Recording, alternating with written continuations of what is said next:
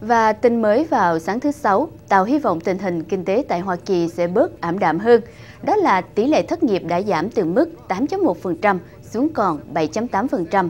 Đây là mức thấp nhất kể từ tháng Giêng năm 2009 và là lần đầu tiên tỷ lệ thất nghiệp ở dưới mức 8% kể từ khi ông Obama lên làm tổng thống. Bộ Lao động cho biết trong tháng 9, nền kinh tế Hoa Kỳ chỉ đã tạo thêm được 114.000 công việc làm mới. Tuy nhiên, số công việc làm mới trong 2 tháng 7 và 8 đã được điều chỉnh tăng thêm 86.000 việc làm, cho thấy một sự tăng trưởng việc làm nhanh hơn vào cuối mùa hè. Trong tháng 9, mức lương trung bình đã tăng 0.4% lên đến 23.58 Mỹ Kim một giờ và số giờ làm việc trung bình trong một tuần đã tăng 0.1 giờ lên đến 34.5 giờ một tuần.